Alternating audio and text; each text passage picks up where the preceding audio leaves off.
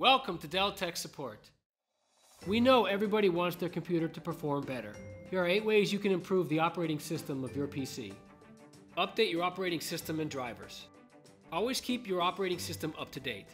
To verify that it's updated, type Windows Update in the Start menu and click on Check for Updates. In the next window under Update Status, look for the Check for Updates button. If there isn't one present, then your system is up to date. If you do have this option, then click on it to update your system. For drivers, it's best to use Dell Support Assist and select the Drivers and Downloads option and click on Install Selected to update any recommended drivers.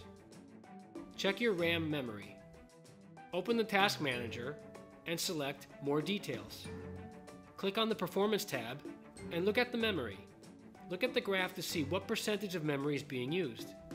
If you notice that much of your RAM is being used regularly, you may want to add more RAM if it's possible. But before doing anything, check the features of the programs and games you are using and compare them with your computer configuration. This will help you determine if installing more RAM is a solution. Disable unnecessary startup programs. When you turn on your PC, some programs start automatically and run in the background which can bog down your system.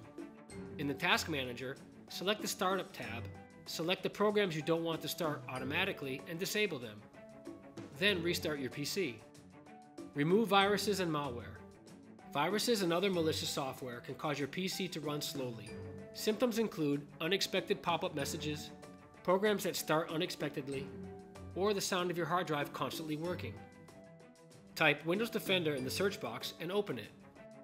Select the Virus and Threat Protection tab, and then click on Protection Updates. Next, Click on the Check for Updates button to update the settings and make sure you have the latest file. Now go back to the previous page and choose the Advanced Scan option and do a full scan by clicking on Scan Now. If Windows Defender finds a virus or malware, it should remove it. If it doesn't, then contact our tech support. Check for corrupted Windows system files. The System File Checker is a utility in Windows that scans for corrupted Windows system files. If it finds a problem, it will try to replace the problematic system files with one from a cached version that is already on your PC.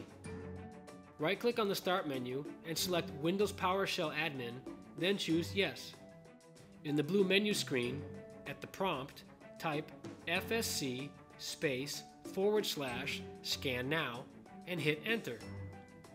Scanning will take a few minutes and then restart your PC when the process is finished.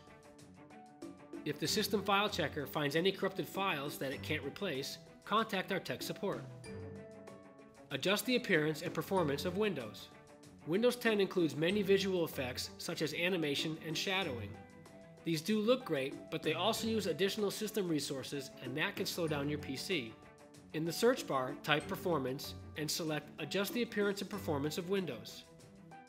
In the Performance Options dialog box, in the Visual Effects tab, choose Adjust for Best Performance and click OK.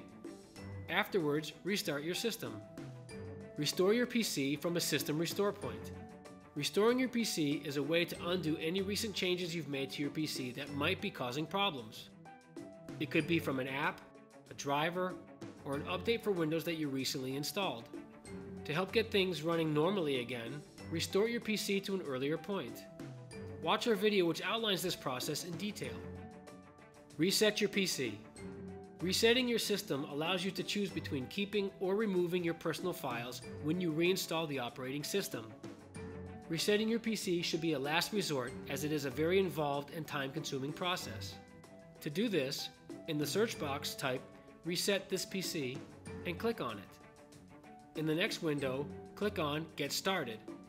Choose whether you want to keep your personal files or remove everything and do a clean installation and then follow the steps until the process is complete.